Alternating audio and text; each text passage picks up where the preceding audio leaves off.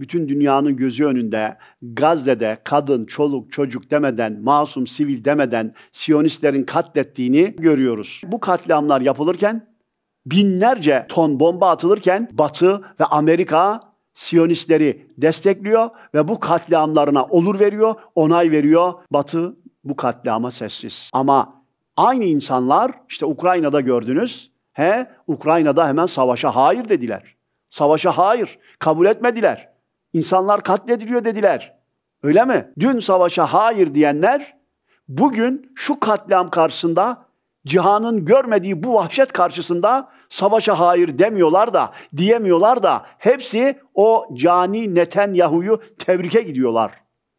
Putin'e tutuklama kararı çıkartanlar Netanyahu'ya tebriğe gidiyorlar.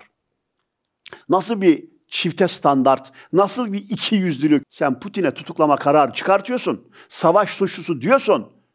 Netanyahu'ya niye diyemiyorsun? Savaş suçlusu değil mi? Bak Birleşmiş Milletler 1300 tane karar almış, ceza vermiş ama bir tanesi bile uygulanmamış İsrail'e. Bu nasıl bir dünya? Nasıl bir adalet? Nasıl bir savaş hukuku? Herkes Netanyahu'yu tebrik ediyor. Oradan tehdit ediyor adam çünkü. Diyor ki eğer diyor biz kazanamazsak bunun faturasını bütün devletler öder diyor. Sen de neysen? Ha demek ki diyor ki yani herkese bulaşırız. Herkesi başını belaya sokarız. O zaman herkes aklını başına devşirmeli, masaya oturmalı, birleşmeli.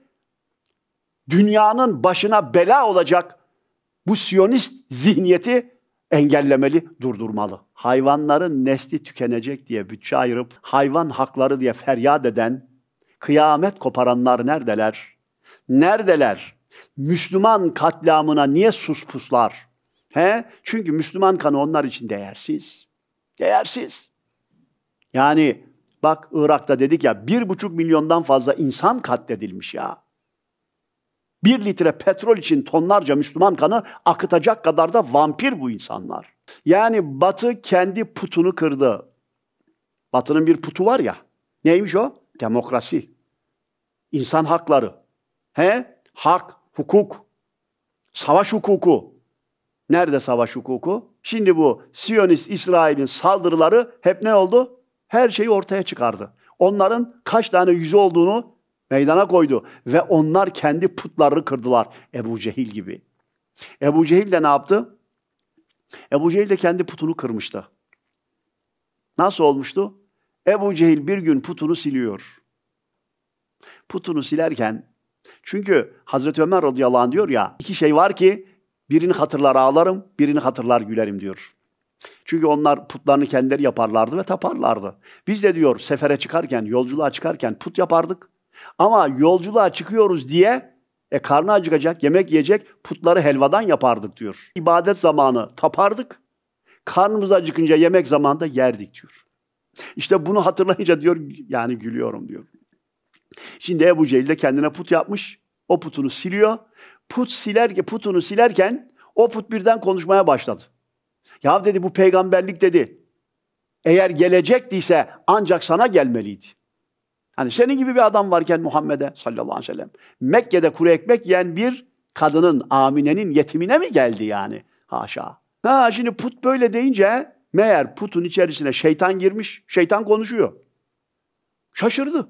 Lan benim put nasıl konuşuyor ya? Dedi ya sana boşuna tapmıyormuşuz be. Ciddi misin? Çok ciddiyim. Dedi ben dedi milleti çağırayım, millete de söyle bari. Ben de diyeyim bak benim de efendim mucizem var, put konuşuyor diyeyim. He? Milleti çağırdı. Peygamber Efendimiz sallallahu aleyhi ve sellem de çağırıyor. Ya gel bak. Sen peygamberlik iddia ediyorsun. Bir takım mucizeler. Al işte benim de mucizem var. Bak put bana ne diyor? Diyecek. Onun için herkesi çağırdı. Peygamber Efendimiz sallallahu aleyhi ve sellem de çağırdı. Dedi ki konuş bakalım. Put konuşmaya başladı ama konuşan kimdi demiş? Şeytan. Peygamber Efendimiz sallallahu aleyhi ve sellem gelince ne oldu? Resulullah'ın geldiği yere şeytan durabilir mi? Hazreti Ömer'in bile girdiği sokaktan şeytan ferre yefirru firara ila cehenneme karara kaçıp gidiyor da cehennemin dibine kadar. Peygamber Efendimiz sallallahu aleyhi ve sellem gelince şeytan durabilir mi? Şeytan kaçtı. Onun yerine Mevla bir melek görevlendirdi. Melek geldi. Puta konuş deyince put konuşmaya başladı. Ne dedi? Ene sanemun. Ben dedi bir putum. La edurrukum ve la enfa'kum. Size bir ne bir zararım olur ne de bir faydam olur. Veylül limen abedeni min dunillah. Allah'ı bırakıp da bana tapana yazıklar olsun dedi. Put diyor bunu. E bunu deyince tabii Ebu Cehil beyninden vurulmuşa döndü. Yani kendi lehine konuşacak zannediyordu.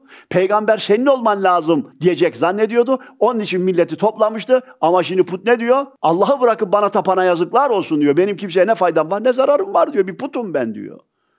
Herkes de şaşırdı kaldı. Ama ne dedi Ebu Cehil? Peygamber Efendimiz'e ey Muhammed dedi benim putumu bile dedi büyüledin dedi ya. He?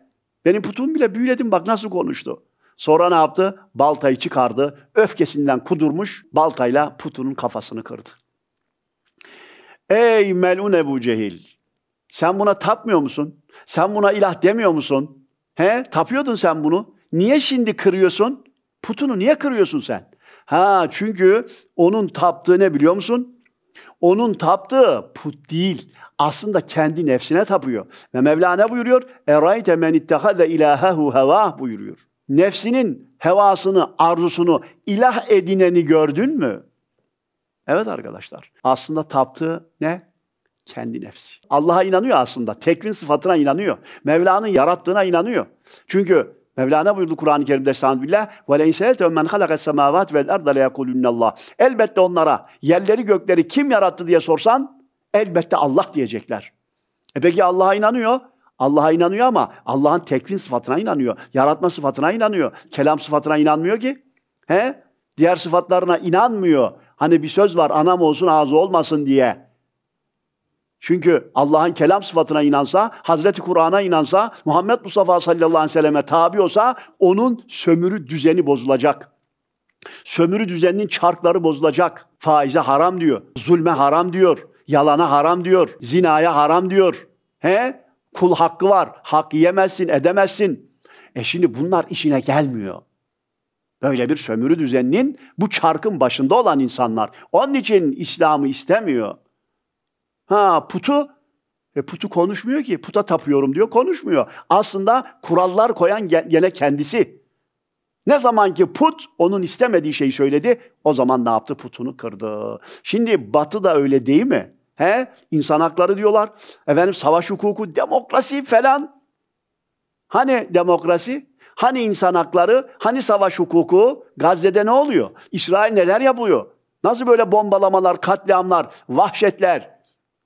sivil masum ayırt etmeden Gazze'de askeri üs mü var?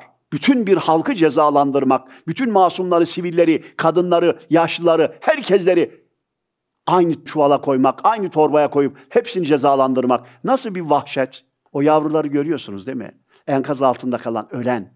Çocuklar ölürken he parmaklar böyle. Eşhedü en la ilahe illallah. Sonra tabii Ruhu çıkmış, bedenler kas katı kesilmiş ama parmak öyle kalmış. İşte o parmak bile var ya, o parmak bile bu İslam düşmanlarını çıldırtmaya belki de yetiyordur. Batı Müslümanlar barış içinde, huzur içinde yaşasın istemez. Hatta onların Müslüman idarecilere tahammülü yok. Yani Müslüman idareciler derken he Müslüman halkların menfaatine iş yapan idarecilere tahammülü yok bunların. Ancak kendine uydu olursa, kendine kukla olursa eyvallah. Onu tutar, onu destekler, onu getirmek için elinden geleni yapar. Ama değilse bir şekilde darbeyle, suikastla, şununla bununla onu devre dışı bırakmak ister. Mursi'ye ne yaptılar? Pakistan ona keza değil mi? Katar direkten dönmedi mi? 15 Temmuz olaylarını hala unutmadık öyle değil mi? Evet kıymetli kardeşler. Ha şimdi efendim Birleşmiş Milletler bir karar niye almıyor? Avrupa Birliği niye buna çözüm bulmuyor? Batı mı çözecek bu işi? Batasıca batı. O mu çözecek? Rabbim İslam alemine birlik, beraberlik nasip eylesin.